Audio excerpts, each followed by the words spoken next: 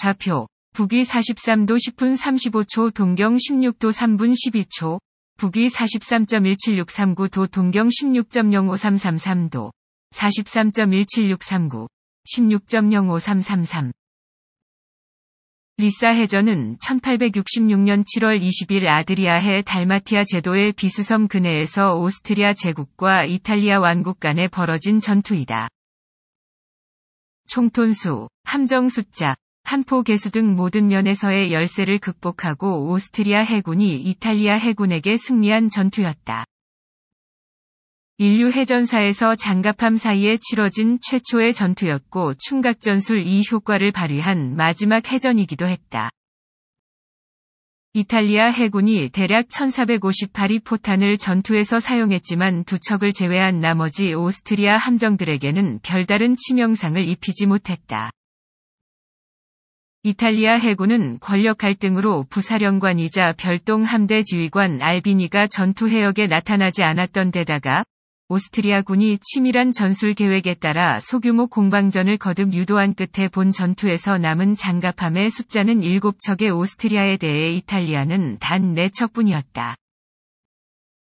오스트리아 제독 테게토프는 모든 면에서 우월했던 적을 맞아 각계격파 전술로 각기 고립된 적들을 격파해 나갔다. 리사 해전은 이탈리아 독립전쟁 때문에 일어났다.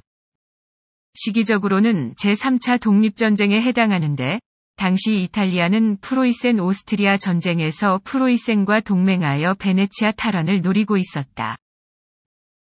최종 목표는 과거 빈 회의로 인해 오스트리아에 뺏긴 베니스 공화국의 구영토를 이탈리아 왕국이 수복하는 것이었다. 오스트리아 함대는 11척의 증기기관 상선대와 7척의 장갑함을 결합해 편성됐다. 이탈리아는 본대와 별동대 합쳐 모두 12척의 장갑함과 17척의 통상 파괴선 구성의 함대로서 오스트리아의 그것보다 숫자가 많았다. 오스트리아는 121대 276으로 한 포수에서도 밀렸다. 당연히 총톤수에서도 두 배 가까운 갭을 안고 전투에 임해야 했다. 게다가 이탈리아 해군에는 당시 최신함으로서 세계 최초로 turret 형태의 함포를 장착했던 아폰다토레 함이 배치돼 있었다. 60세의 피에몬테 백작 카를로 디 페르사노 제독이 이탈리아 해군을 책임졌고 반면 오스트리아는 39세의 젊은 제독 빌헬름 폰 테게토프 백작이 함대를 지휘했다. 단 오스트리아는 당시 아드리아해의 제해권을 가지고 있었으며 비스섬의 리사 항구 역시 트란실바니아 출신의 루마니아인 연대장 다비드 우르스 데 마르기나의 지휘하에 영유 중이었다. 페르사노 사령관의 지휘하에 이탈리아군은 함대를 셋으로 쪼갰다. 페르사노 본인이 지휘하는 본함대가 9척의 장갑함을 갖춰 주 화력을 보유했고 나머지 세 척의 장갑함으로 그의 정적인 알비니 제독이 지휘하는 별동대가 뒤를 바치는 형태로 비스섬 상륙 작전의 호위를 담당했으며 마지막으로 바카 제독이 예비 전력으로서 범선들을 이끌었다.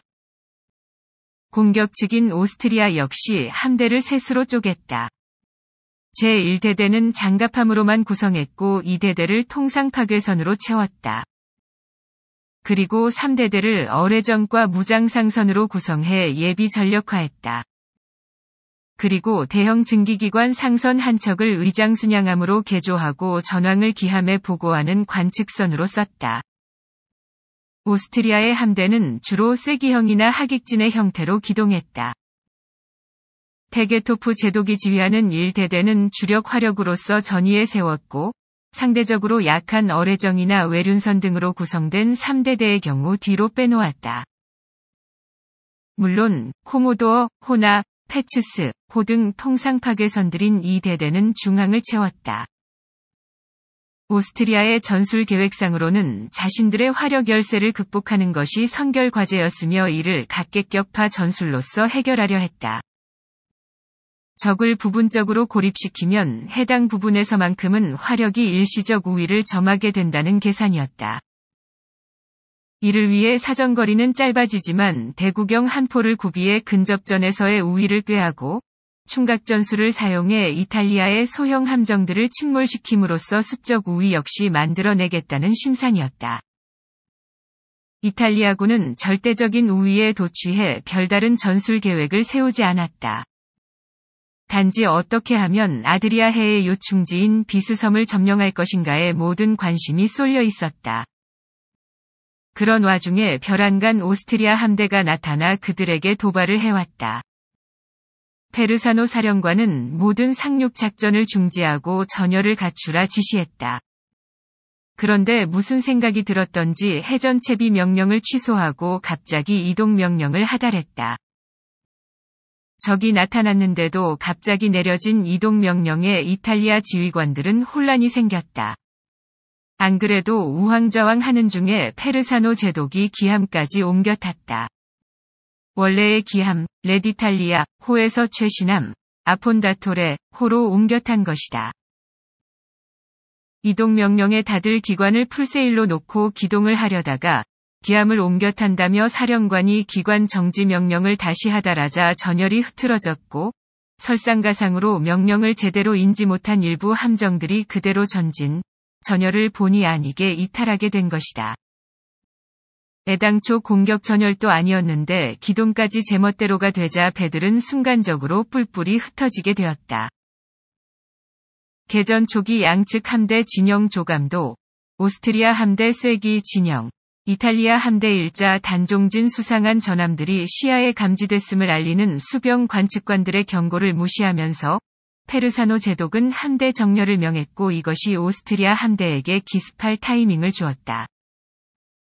오스트리아의 테게토프 제독은 이탈리아 1, 이 함대 간에 얼마간 빈틈이 생기는 것을 놓치지 않았고 자신의 함대를 그곳으로 찔러 넣어 이탈리아 함정들의 선회를 유도하는 동시에 충각 전술을 시도할 목적이었다.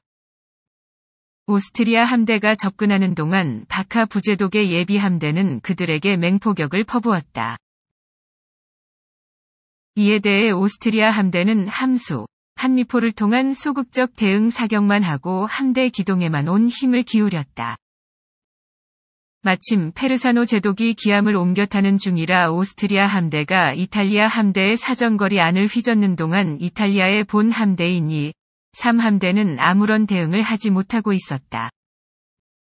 오스트리아 함대는 이탈리아 예비함대에서 받은 약간의 데미지만 있었을 뿐 거의 전력 손실을 입지 않은 상태로 본격적인 해전에 돌입할 수 있었다. 오전 10시 43분까지 오스트리아 함대는 이탈리아 함대의 접근을 마치고 전술 행동에 들어갔다. 오스트리아 함대 쐐기 진영의 좌익을 담당한 합스부르크호, 살라만더호, 카이저 막스호가 이탈리아 예비 함대를 맡고 우이게 돈 후안대 오스트리아호와 드라셰호, 프린츠 유겐, 호가 알비니 부제독 휘하의 제2함대를 맡았다. 페르사노 사령관은 새 기함인 최신 장갑함, 아폰다토레 호의 탑승을 완료하고 본격적인 응전 태세에 들어갔다. 이탈리아 함대의 혼란 와중에 폰페츠 제독은 자신의 이 함대를 몰고 이탈리아 본 함대의 뒤를 잡을 기회가 왔다. 그러나 폰페츠 제독이 이끄는 오스트리아군의 통상 파괴선들은 이탈리아 본함대의 장갑함들에게 맹반격을 받아내야 했다. 이 함대 휘하의 프리깃함, 노바라호는 총 47발이 피격을 받았고 함장 에릭 아프 클린트가 전사했다. 에르체어조그 프리드리히호는 흘수선 근처를 피격당하고 겨우 떠있는 수준이었으며 슈바르첸부르크호는 이탈리아의 맹폭격의 전투 능력을 상실했다. 이탈리아 함대의 전황이 점차 불리해지자 페르사노 사령관은 사기를 올리기 위해 충각 전술을 기획했다. 목표는 장갑이 약한 상대의 통상 파괴선들이었다. 상대적으로 우세한 자신의 장갑함들을 급히 상대 통상 파괴선 쪽으로 붙였다. 제일 먼저 타겟이 된 카이저함, 은 상대의 최신형 기함, 아폰다톨의 함, 이 접근하는 것을 보고 거꾸로 자신이 충각 전술을 쓰려 했다. 이를 본 레디 포르토갈로 함, 이 함수를 돌려 카이저 함을 조준하고 곧 발포를 시작했다. 카이저 함은 재차 함수를 돌리고 레디 포르토갈로 함의 옆구리로 뱃머리를 박아 넣었다. 양쪽 함정에선 불길이 치솟고 연기가 자욱해져 앞이 전혀 보이지 않았고 각자 주마스트와 기관 굴뚝이 부러지면서 두 척 모두 기동을 멈춰야 했다. 중앙의 테게토프 제독, 안톤 로마코 작 대략 그때쯤 테게토프도 자신의 기함, 에르체어조그 페르디난트 막스함, 을 이탈리아 함대의 기함, 레 디탈리아 함, 와 팔레스트로 함. 앞으로 찔러 넣었다.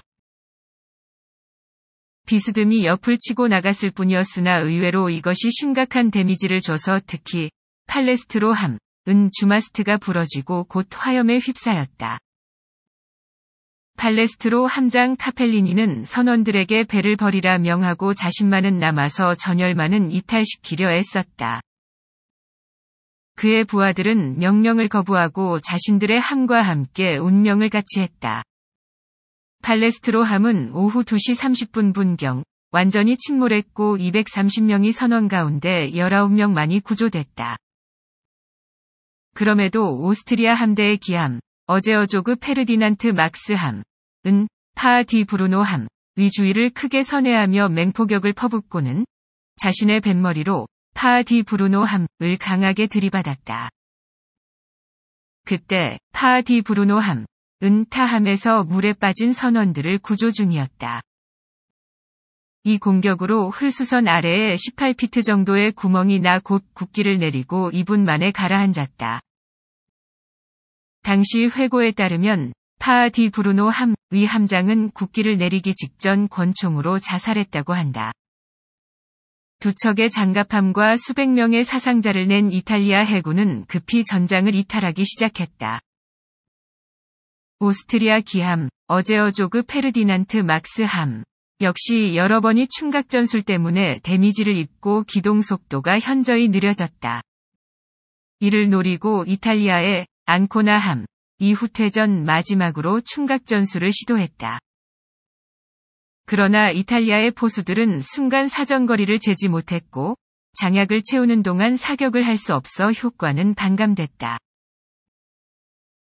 마리아 피아호와 코모도르호, 폰 페츠호, 카이저호 등의 통상 파괴선들은 장갑이 약해 주로 포격에 집중했는데 그들이 달아나는 상대의 전함 레디 포르토갈로호 에 포탄을 쏟아붓는 동안 적의 기함 아폰다토레함 근처에 자신들이 있는 것을 알아챘다. 내 적이 충각 전술을 노리고 기관 발동을 최대로 올리는 것을 감지한 아폰다토레 함은 속도를 더 올려 다른 함들과 전장을 이탈해 급히 이탈리아로 귀향을 서둘렀다. 장갑함 두 척이 침몰하면서 이탈리아 함대는 철수했고 장거리 사격만 간간히 몇 시간 동안 이어졌다. 우연히도 이것이 아폰다토레 함이 처음이자 마지막 전투가 됐다. 아폰다토레 함은 1907년 퇴역했다.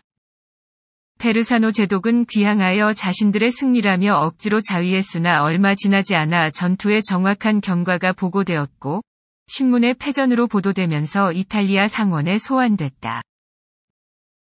지휘관들은 수적 우세에도 참담하게 패배한 무능과 비겁함에 대해 상원의원들과 여론의 맹렬한 비난에 직면했고 불명예스럽게 옷을 벗어야 했다. 페르사노 제독도 알비니 제독과 함께 강제 예편됐다. 한편 이탈리아 독립의 아버지인 가리발디는 오스트리아 편으로 해전에 참가한 베네치아인들이 도대체 이탈리아 민족으로서의 자각이 부족하다며 격정적으로 화를 냈다. 테게토프의 수병들은 크로아티아인들과 소수의 베네치아인으로 주로 구성됐는데 오스트리아 수병들이 베네치아에서 양성되는 까닭의 해군 용어들은 대부분 베네치아 사투리긴 해도 이탈리아어였다.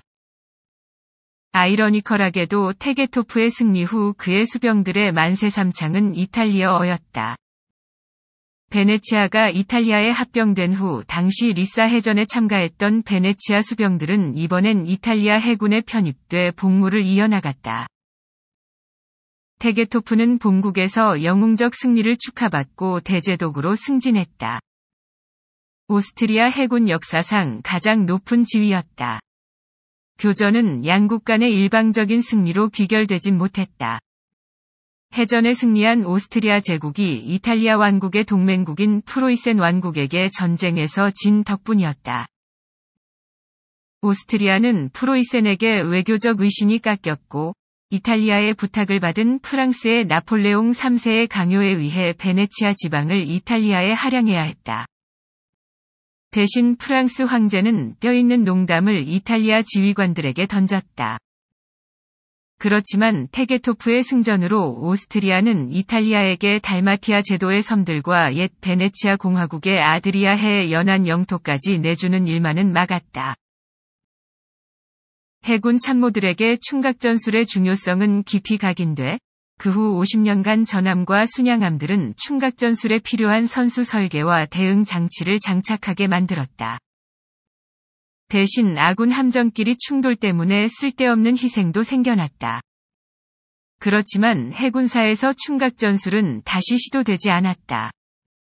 황해 해전에서 천국 해군이 일본 해군을 상대로 시도는 했으나 전혀 효과가 없었다. 함포의 발전과 더불어 충각 전술의 효과 및 중요성은 급속히 줄어들게 됐다. 해전사를 연구하는 연구하는 학자들은 장갑의 중요성이 함포의 중요성보다 강조된 거의 유일한 케이스가 리사 해전이었다고 평가했다. 특히 이탈리아 함포 기술의 열세 및 오스트리아 프로이센 간의 해군력 제한 협정으로 인해 오스트리아가 함포 적재를 제한받았던 것이 이런 현상을 부채질했던 것으로 봤다. 충각 전술 때문에 이후 열강들은 장갑이 빈약한 통상 파괴선들을 모두 조기 퇴역시키거나 장갑함으로 개조했다. 그 예로 카이저호는 리사 전투 직후 개수에 들어가 장갑함으로 개조돼 1869년부터 1873년까지 활동했으며 이후 벨로나호로 이름이 바뀌어 1902년 퇴역했다. 시청해주셔서 감사합니다.